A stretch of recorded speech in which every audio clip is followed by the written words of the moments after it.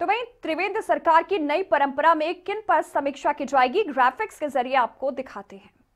प्रदेश cabinet के सभी फैसलों की समीक्षा होगी इस दौरान, और इसे मुख्यमंत्री त्रिवेंद्र सिंह रावत खुद इसकी समीक्षा करेंगे। आपको बता दें, शासनादेश नहीं होने की भी इस दौरान पड़ताल की जाएगी, और धरातल पर कार्रवाई का आकलन भी किया जाएगा। इसके अलावा आपको बता दें, इकसठ कैबिनेट बैठकों में करीब 350 से ज़्यादा फैसले लिए जा चुके हैं और प्रदेश कैबिनेट के सभी फैसलों की समीक्षा भी इस दौरान की जाएगी। मुख्यमंत्री त्रिवेंद्र सिंह रावत, जो कि खुद इस नई परंपरा की शुरुआत करने वाले हैं। शासनादेश नहीं होने पर भी उसकी बकायदा जाँच पड़ताल की जाएगी। धरातल पर जो कार्रवाई हो चुकी है, उसका आकलन भी इस दौरान किया जाएगा। इकसठ कैबिनेट बैठकों में करीब 350 से ज़्यादा फैसले लिए जा चुके हैं।